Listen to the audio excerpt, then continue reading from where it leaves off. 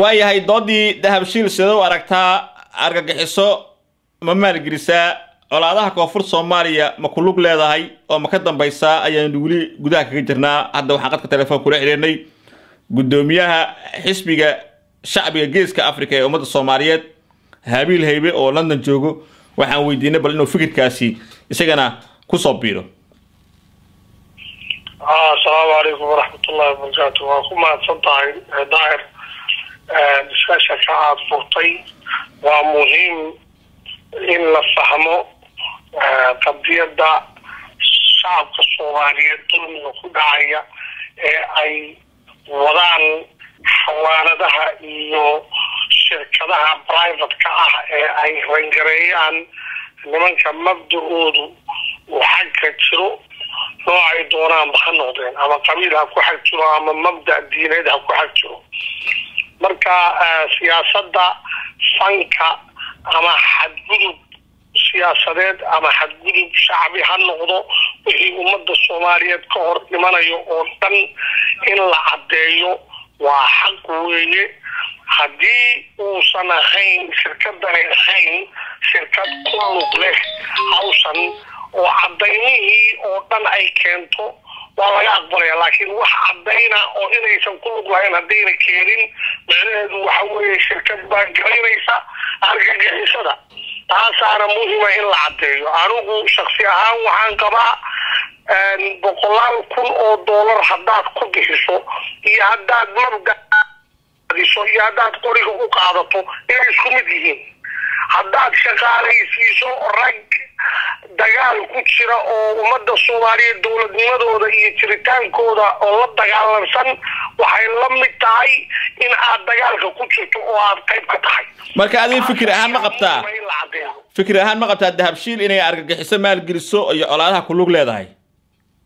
Anigu fikirkayga siyaasad ahaan marka laga yimaado waxaan aaminsanahay shirkadaha xawaaladaha oo dhan say u dhan yihiin ama toos ha ugu lug yeesheen ama si dadban ha ugu lug yeesheen inay ku lug leeyihiin saboortka nimankaa yaryar sababta waxa weeye fanka ay ku socdaan iyo dhaqaalaha ay ku bixiyaan ee koonfurta soomaaliya shirkadahooda xarumahooda ay ka bixiyaan dhammaan marka laysu wada keeno waxaa noocad shirkadaas iyo shirkado badan oo kale inay si toosa ugu lug leeyihiin iyo inay si indirect ugu leeyihiin. Labadaba way noo caddahay.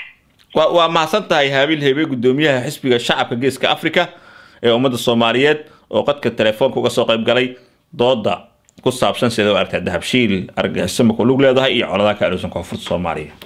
Hallow ha haddaad i maqlayso dooda ala socoto magacaaga oo saddexan maxamed xasan from norway oo norway jooga. Waaya seed u aragtaa dahabshiil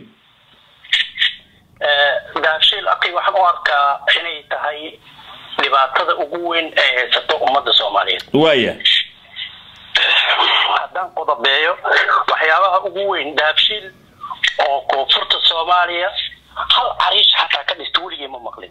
Waaya dahabshiil oo koonfurta soomaaliya hal mas'uul oo ka tirsan dahabshiil oo wax toosoo la garan karo amba xataa qaxooti buush ku jiro xabad beriis u geey weligii ma waaya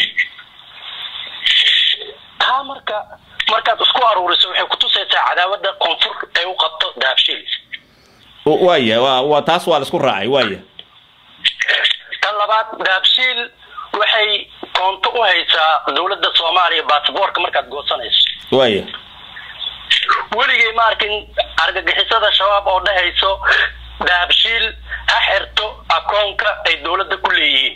Waaya taa maxay caddayn ku tahay in dahabshiil ay toos ugu lug leedahay argagixisada al-shabaab ay maalgeliso? Waaya sababtoo ah askariga u shaqeeya oo dablaha ah dowladda waxaad og tahay in la ugaarsado oo la dilo. Maxaa loo dili waayey mas'uuliyiinta dahabshiil amba maxaa loo xeri waayey shirkada dahabshiil waaya dooda su'aashaas waa su'aal muhiima wey marka ad waxaad aaminsan tahay dahabshiil inay tahay argagixiso. aaminsanahay dahabshiil inay tahay argagixisada ugu weyn ee ka jirta koonfurta soomaaliya maalna gelisa.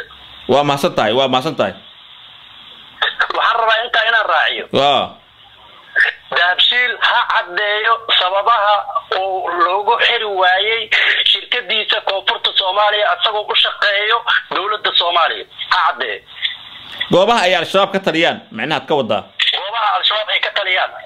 Sababta loogu xiro waxaan ognahay a p c in laga xiray shirkadda hormuud waayahay waayahay waayahay halow haddaad maqlayso magacaaga noogu bilow iyo meeshaad ka soo hadlayso dalkaa ka soo hadlayso. Magacayga waa mustafa ciirow ninka la yidhaahdo ku nool magaalada muqdisho magara mustaf ayrow shirkadda dahabshiil see u aragtaa? Shirkad dahabshiil waxaan u arkaa shirkad ninka la yidhaahdo diibshiil sida aad sheegtaba. Shirkad ninka la yidhaahdo soomaaliya ninka la yidhaahdo sida kala goynteeda ka shaqeyna u arkaa magara waayahay. Hadday ku maqlayaan maamulka dahabshiil maxaad ugu baaqaysaa? Waxaan ugu baaqi lahaa inay jidka toosan qaadaan. Nabadda ninka la yidhahdo ay ku dadaalaan dadkana ay ninka la yidhahdo ay ka daayaan wax ay ku wadaan. Mas leedahay dahabshiil argixisada kulug leedahay? Oo colaada koonfurta way maalgelisaa boqolkiiba boqol waxaad arkayda ninka la yidhahdo maamulada somaliland oo kale. Waxay si aan caadiya inay u garafayaan.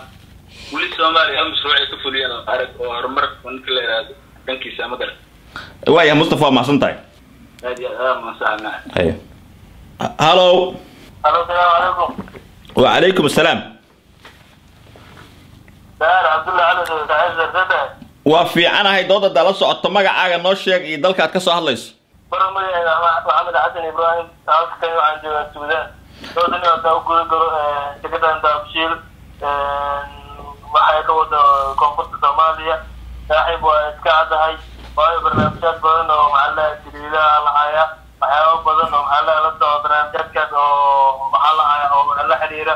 Hadda daan dhinac kale u sii galo dhinacani maxaalaha jawaab oo kale inay maxaalaha waxay siiso taageere siiso wax ku waan kartaa markii la xiray baagan dgareska oo hormuud telcom waxaa waxaa xirtay jawaab sii la sheegay laakiin markii baaritaano dheer la sii galay waxyaaba la sii raadiyey waxaa ku soo baxday in maxaalaha shirkadan dafiil ay xirtay sababo jira awgeed sababtaas u xirta waxay shirkadan somtel oo soo caanbixaysa waagaas haddana maxaalaha shirkad somtel oo la rabay in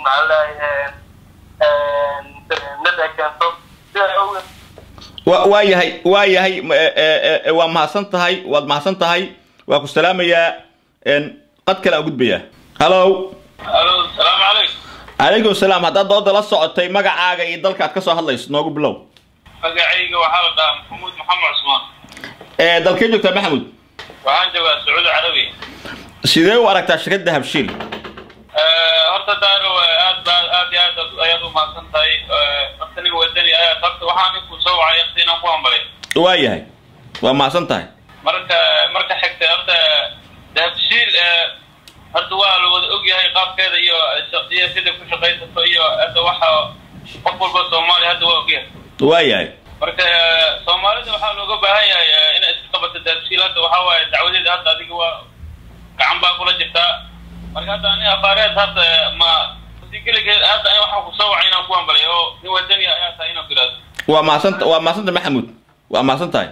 Waaya waa intaas waay waayahay daawadayaal barnaamijkeena intaas ayaan ku soo afjaraynaa waxaa isweydiinta badan waxaa weeye dhowaan shirkadda dahabshiil islam banki waxa siiyeen toban milyan oo dollar. Dowladda federaalka soomaaliya hase yeeshee al-shabaab arrintaas wax tallaabaa kama qaadin. Waxay leedahay shakigeeda doodana si fiican ay u dhacday waxayna sii noqon doonaan qaybo kale oon ku lafaguri doono dilkii saade cali warsame dahabshiil argixisama ku lug leedahay. Waxaan u mahad celinayaa dhalinyarada faraha badan ee qadka telefoonka uga soo qayb gala waxaan leeyahay nooli kulante